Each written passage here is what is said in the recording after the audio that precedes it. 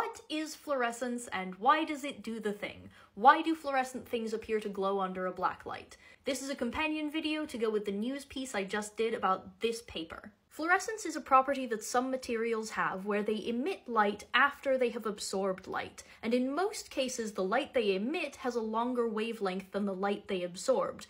That's the crucial part when it comes to making stuff glow under a black light.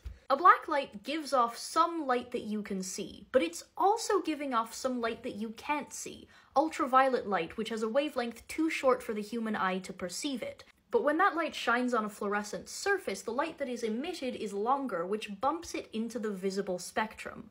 So from the perspective of your eye, it looks like this surface is glowing. It looks like it's creating light out of nowhere. But what's actually happening is the surface is taking in light you can't see and giving back light you can see.